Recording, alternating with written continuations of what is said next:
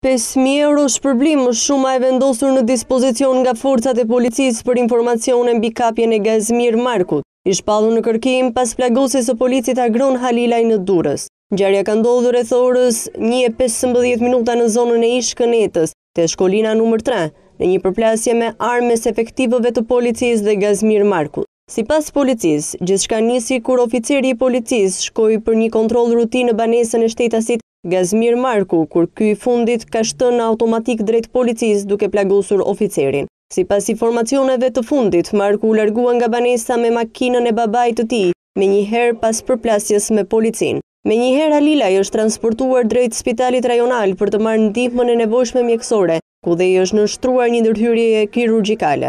Aktualisht, sipas mjekëve ai ndodhet jashtë rrezikut për jetën.